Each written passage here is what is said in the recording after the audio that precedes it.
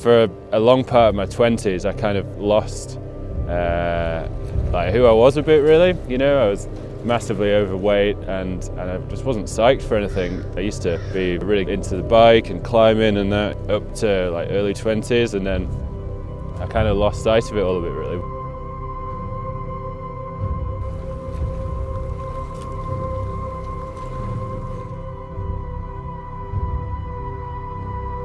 The inspiration to start this whole thing again was, was seeing my dad do the Lakesman Ironman up in Keswick last year.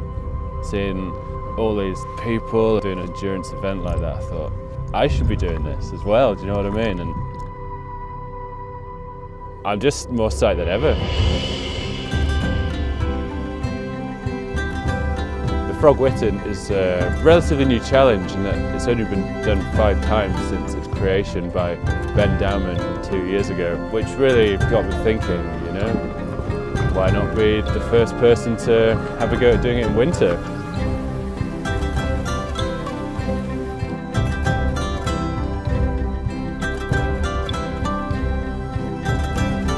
Yeah, ready to send it. we'll see. We'll see what happens. See if I freeze the frozen frog, mate.